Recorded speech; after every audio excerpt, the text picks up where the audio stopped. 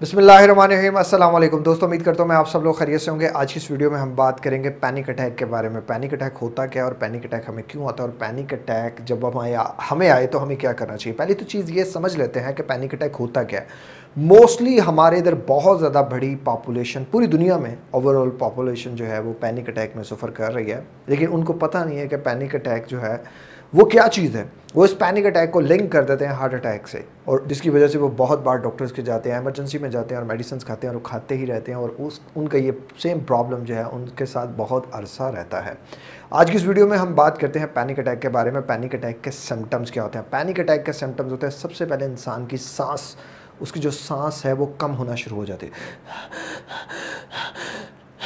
इंसान को ऐसा महसूस होता है, उसकी दिल की धड़कन बहुत ज़्यादा तेज़ हो रही है, उसको ऐसा महसूस होता है कि उसे हार्ट अटैक आने वाला है। इस चीज़ को लेके उसे लगता है कि उसके गले में कोई चीज़ अटकी हुई है, कोई चीज़ फट, फंसी हुई है। उसे सीने पे खिंचाव महसूस होता है, उसे पेट में दर्द महसूस होती है, पेट में मरोर पेट में मरोर महसूस होते हैं। उसे मतली आने की कैफियत महसूस होती है कप कपी सी होती है, कभी जिसम गर्म होता है, कभी ठंडा होता है। एकदम डेजीनेस सी होती है ब्रेन फॉक्स हो जाता है और इंसान को लगता है कि उसका दिल, उसका दिमाग, उसकी पूरी बॉडी हर चीज़ एक दूसरी चीज़ से अलग हो रही है। इस चीज़ को लेके वो सोचता है कि वो मरने वाला है और वो अपने आप को समझता है कि उसे हार्ट अटैक आया। वो फ़ौरन से पहले इमरजेंसी में कॉल करता है या अपने दोस्तों से या अपने इर्द गिर्द के लोगों से घर वालों से कहता है कि मुझे फ़ौरन से पहले हॉस्पिटल लेकर चले जाओ। जब वो लोग हॉस्पिटल में लेकर जाते हैं मोस्ट ऑफ़ द टाइम के लोग रास्ते में ठीक हो जाते हैं मोस्ट ऑफ़ द टाइम लोग वहाँ जाकर ठीक होते हैं। उनको बहुत से एमरजेंसी जो है वो उनको एमरजेंसी में ट्रीटमेंट दिया जाता है। एमरजेंसी के ट्रीटमेंट के बाद लोग ठीक हो जाते हैं। फिर काफ़ी ज़्यादा टेस्टों के बाद पता चलता है ऑब्जर्वेशन के बाद पता चलता है कि ये तो सिंपल एक पैनिक अटैक था। मेरे साथ भी दोस्तों मतद बार ऐसा हो चुका है कि मैं ख़ुद इस चीज़ को एक्सपीरियंस कर चुका हूँ कि मुझे लगता था कि मैं मरने वाला हूँ और मैं मरने वाली कैफियत से कुछ देर बाद में निकल आता था। ये एक बात आप समझ लें कि इस कैफियत से कोई इंसान नहीं मरता। ये चंद मिनट की पाँच मिनट की दस मिनट की पंद्रह मिनट की हर इंसान पे डिपेंड करता है कि वो इंसान इसको कैसे काउंटर करता है। जो इंसान इसको जल, जितनी जल्दी काउंटर कर लेता है उतनी ही जल्दी ये पैनिक अटैक इंसान का कंट्रोल हो हो जाता है। बाज़ दफ़ा इंसान को सिचुएशनल पैनिक अटैक होता है, जैसे इंसान कहीं जाने का सोचता है तो उसको पैनिक अटैक आ जाता है। किसी को किसी इंसान की वजह से पैनिक अटैक हो सकता है। मुझे एक माहौल से पैनिक अटैक था, मुझे एक इन्वायरमेंट से पैनिक अटैक था, मुझे स्पेसिफिक लोगों से पैनिक अटैक था। जब मैं उन लोगों के बारे में सोचता था या उनके पास जाने की बात करता था तो मुझे पैनिक अटैक हो जाता था। इसी लोगों, इसी तरह लोगों को पैनिक फोबिया होता है कि वो सोचते हैं कि जब वो एरोप्लेन में बैठेंगे तो उनको पैनिक अटैक आ जाएगा। रश वाली किसी जगह पर जाएँगे तो उनको पैनिक अटैक आ जाएगा।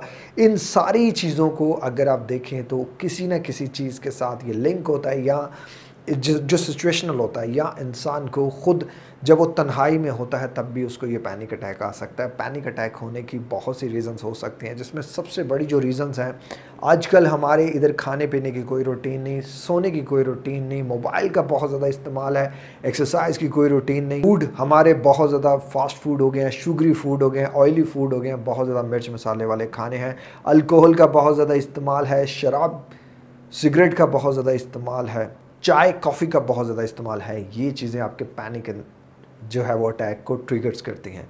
जब इंसान एक बार पैनिक अटैक की सिचुएशन को एक्सपीरियंस करता है, फिर वो इस चीज़ से डरता है। कहीं ये चीज़ मुझे दोबारा ना हो जाए और इस चीज़ को लेके वो भागता रहता है, इस पूरे भागने के प्रोसीजर को कहीं ये दोबारा ना हो जाए।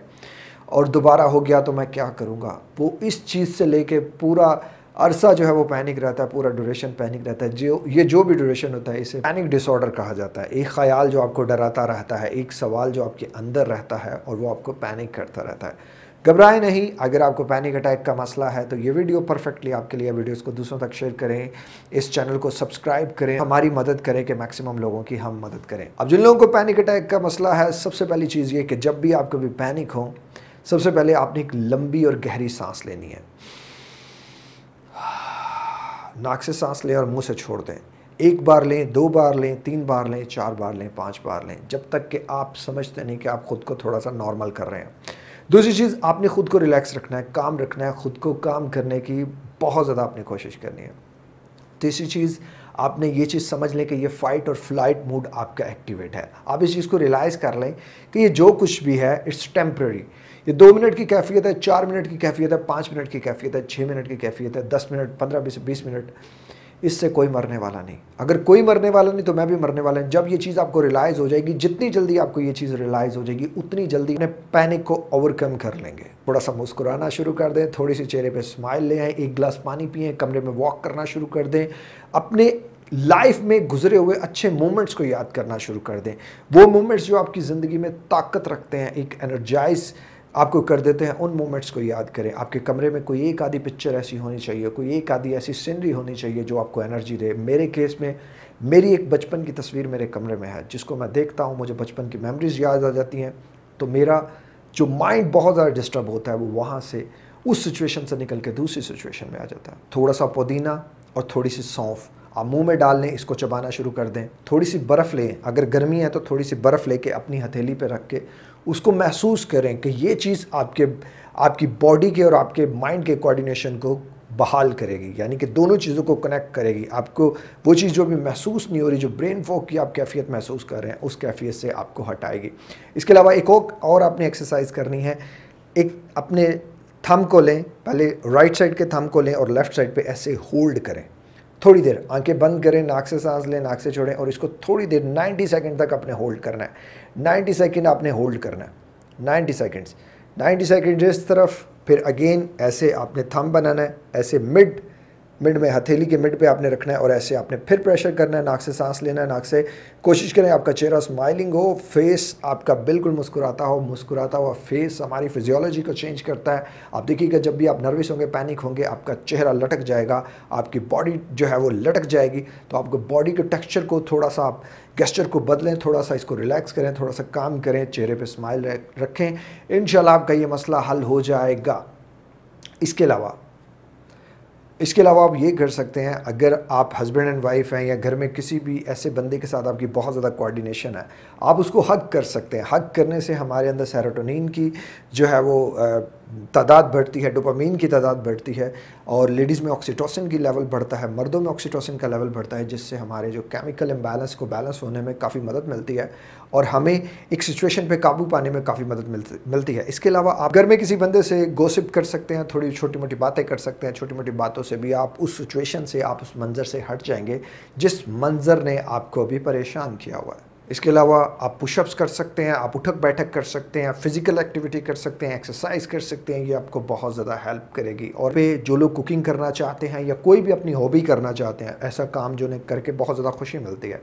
वो काम कर लें, ये सारी चीज़ें आपके पैनिक अटैक को, उस ड्यूरेशन को कम करने में आपकी बहुत ज़्यादा हेल्प करेगी। इसके अलावा आप बबल खम, बबल गम भी खा सकते हैं। अगेन, इट्स सिली, बट लगेगा लोगों को कि ये बड़ी सिली चीज़ है, बट ये बहुत ज़्यादा इफ़ेक्टिव चीज़ें हैं। ये वो चीज़ें हैं, ये वो बातें हैं जो मैंने ख़ुद रख के अपने ऊपर काम किया। फ़ाइट और फ़्लाइट इन दोनों चीज़ों से बचें जस्ट खुद को नॉर्मलाइज करें रिलैक्स करें। भागना भी नहीं हमें मंजर से और लड़ना भी नहीं हमसे। वी हैव टू लाइक अपने माइंड को क्लियर कर लेना कि ये जो कुछ भी है it's not important for me कुछ देर की कैफियत है, मैं कुछ देर की कैफियत को लेके क्यों अपने आप को परेशान करूँ? रेगुलरली बेसिस पे वॉक करें एक्सरसाइज करें, नमाज़ पढ़ें, अल्लाह को याद करें। अल्लाह से जुड़ जाएँ, जो लोग दीन से जुड़ जाते हैं, अल्लाह से जुड़ जाते हैं, वो लेस एनजाइटी और लेस डिप्रेशन का शिकार होते हैं। अपनी नींद पे काम करें एक्सरसाइज पे काम करें वॉक पे काम करें, ख़ुद को बिज़ी रखें, जितना ज़्यादा हो सके सदका खैरात करें और अपने आप को खुश रखें, अपने आप को पॉजिटिव रखें। ये सारी चीज़ें आपको पॉजिटिव रखने के लिए बहुत ज़्यादा ज़रूरी है। बहुत ज़्यादा टेस्ट करवाने के लिए आप अपने टेस्ट ज़रूर करवाएँ। टेस्ट करवाना आपका हक है, लेकिन बहुत ज़्यादा टेस्ट करवाने से, बहुत ज़्यादा डॉक्टर्स के बार बार जाने से सिर्फ़ आपकी फ़ीस का ज़्या है, आपके पैसे का ज़्या है। जब एक बार आपको क्लियर हो गया कि आपको पैनिक अटैक्स का मसला है आपका दिल करेगा कि नहीं, शायद इस डॉक्टर को नहीं पता, शायद इस हॉस्पिटल वालों को नहीं पता, मुझे किसी और बंदे के पास जाना चाहिए, मैं बहुत ज़्यादा तकलीफ़ में मैं बहुत ज़्यादा अजाब में हूँ, मैं बहुत ज़्यादा ऐसी चीज़ में हूँ। ये सबके साथ होता है, ये सबको यही लगता है, सबका ऐसा ही ख्याल है कि शायद ऐसी वो चीज़ जो डॉक्टर्स को नहीं पता चल रही, मुझे तो वो बीमारी हो गई है जो किसी को समझ नहीं आ रही, मुझे तो वो हो गया है जो किसी को पता नहीं चल रहा ऐसा कुछ नहीं होता। सबके साथ यही होता है, सबके साथ यही मामला होते हैं, अपने आप पर काम करें, ख़ुद को रिलैक्स रखें। इन जितना आप ख़ुद को रिलैक्स रखेंगे, आपको ये प्रॉब्लम उतनी ज़्यादा कम होगी। एक बात बहुत अहम याद रखिएगा, आप अपनी ज़िंदगी को बनाने और मिटाने वाले ख़ुद हैं। अगर आपको पैनिक अटैक्स का सामना है तो इट्स मीन ये जस्ट आपकी अपनी मिस्टेक्स हैं। ये जस्ट आपकी अपनी गलतियाँ हैं जिसका खुमियाजा आप भुगत रहे हैं। अब ये आपके ऊपर डिपेंड करता है, आप उन गलतियों पे काम करें और ख़ुद को इन सब चीज़ों से बचा लें। वीडियो का अख्ताम यही करते हैं, अपना और अपने साथ जुड़े लोगों का बहुत ज़्यादा ख्याल रखिएगा। अल्लाह ताला आपके लिए और हम सब के लिए आसानियाँ पैदा करें। असल अल्लाह हाफिज़।